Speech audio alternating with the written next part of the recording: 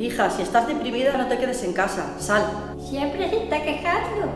Mujer, no te quejes. Hay cosas peores. Siempre estás con tu egoísmo. Y yo, y yo, y yo.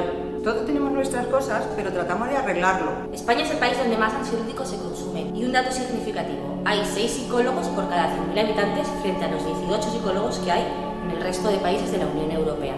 Trastornos como el Alzheimer y la esquizofrenia se han elevado. Más de 2 millones. Las personas toman antidepresivos ansiolíticos a, a diario. El 52% de la población dice haberse sentido con síntomas de depresión y ansiedad durante la pandemia. El tratamiento psicológico consigue disminuir el consumo de fármacos. El 42% de la población ha tenido problemas de sueño durante la pandemia. No permitas que el miedo a ser etiquetado por una enfermedad mental te impida buscar ayuda. Todos somos parte del tratamiento de una enfermedad mental.